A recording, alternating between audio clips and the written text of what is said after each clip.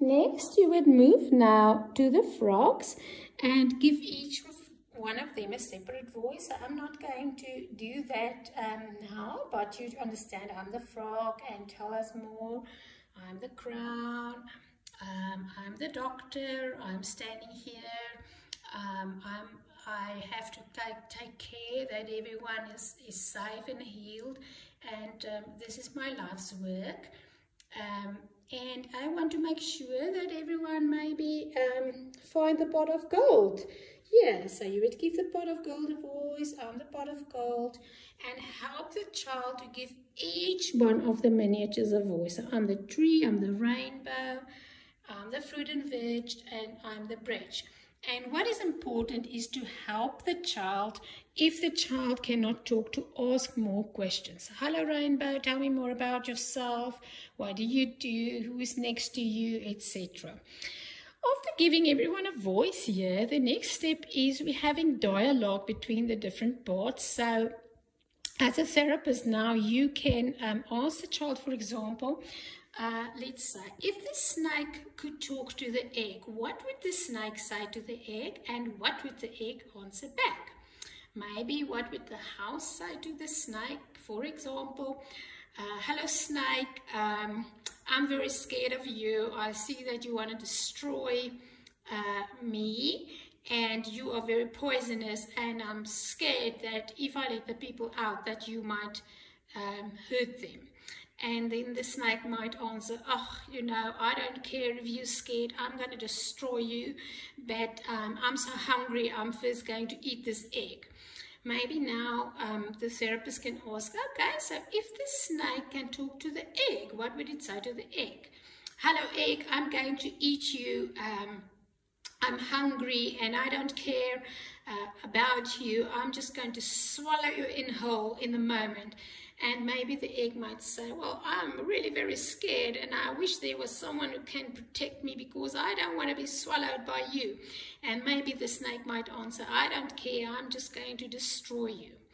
And um, then you might move here and you might, for example, also, what would the caveman say to the baby? Maybe the caveman would say to the baby, um, I'm the caveman, and although you don't have a mum or dad, I will always take care of you and protect you and make sure that if anything here wants to destroy you, that I will kill them.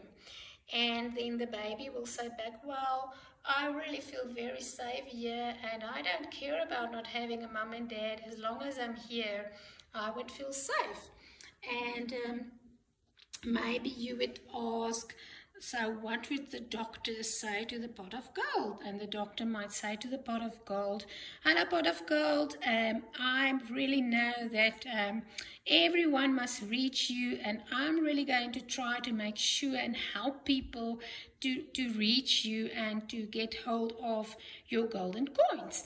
And maybe the pot of gold might answer, yes, uh, sure, um, I don't care, you can bring all of them here and um, maybe what would the frog say to the bridge? Um, hello bridge you know I really want to help this girl to move over to you and um, how would you feel if she gets there? And the bridge might answer back uh, you know that would be absolutely brilliant. I would love uh, to have her here and there's really um, nothing that can threaten her and um, yeah, so you can go on and have conversation between different parts. Next um, step after that is now we move to the reality level in Gestalt. And what that implies is that we would ask the child, can it be questions? And the can it be questions would reflect specifically to the responses that the child gave. For example, and it's very important to ask this in a gentle voice. So if you just ask them, can it be that you have someone in your life that's like the snake? Maybe the child would say, no, never. Um, and if the child do that, that's also okay because the child does not have to own the projection in order to grow through what is projected here. But you would rather in a very gentle voice ask, can it be that sometimes you feel there's something in your life that wants to hurt you like this snake? And maybe or maybe not, the child might say, yes, I feel like that. Um, when um, there's the bullies at school that are really bullying me. And um, you would maybe also the child, and can it be that you sometimes feel like this girl that you would like to uh, to move to that part and how would you feel about moving there? And the child might answer about that. Now your can it be questions would be would definitely take into account the child's age and development cognitive development emotional development.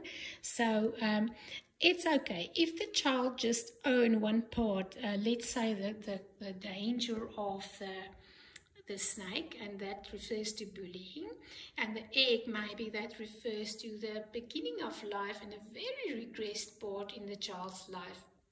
What you can do now is um, you can maybe also, is there anything here that can help the egg to move to a, a safer place so that uh, the snake could not eat it or maybe is there um, anything here or can you find anything on the shelf that can protect the egg? Um, and let's say for example um, the child goes back to the shelf and look around here in terms of all the toys and find this cave. And bring the cave now back here and say um, this, if this cave, which can also be a symbol of a womb, is going there, the snake would not be able to eat it or to see it. And um, that then can, now we can also, what can that be in your real life?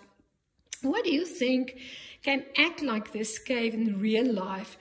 To protect you from the bully. And, and do you think that um, there's anyone here that can maybe remove the bully to a different place? And um, let's say, for example, the child says, so this doctor can um, can come here and she can move to the the baby to protect the baby and maybe the snake can't see the egg anymore and uh, might turn off and run somewhere else where it can try to find something to eat. Okay, so what would that mean in real life? Well, maybe in real life it would mean that if I can protect myself better um, and the bully see that the bullying is not touching me anymore, that the bully might go off somewhere else.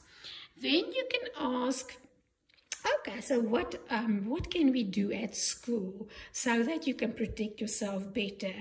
And um, the bully cannot bully you anymore and maybe the child can we can move into puppetry and role play and practice some responses or ways in which the child can be protected at school which can be a lot of different handling strategies. For example I can um, I'm going to tell someone else or I can turn around, or I can say this back, or whatever um, would be applicable in the situation. We can also maybe move here and also child. Okay, so can it be that um, because of what happened, there is a part of you that still need to get healed of what that bully did to you. And obviously, you would also ask the name of the bully, and maybe as a therapist, even well, most definitely, I would also intervene in terms of telling the parents about that with the child's permission and also maybe even contact the school because bullying is very uh, serious and can lead to depression in children. And um, we can also maybe go to the point of, but maybe the therapist can act as a doctor and help this younger child to get healed and maybe also ask the child so who can that be in your life that um, can it be that there's someone in your life that is always protecting you? And the child might say okay but this is my grandfather or this is um, uh, my, my older brother or this part in myself or you can help the child with options. So um, we can now look at this side and we can say all right so now the egg is safe the house is safe the baby can get healed. And the girl said that she would like to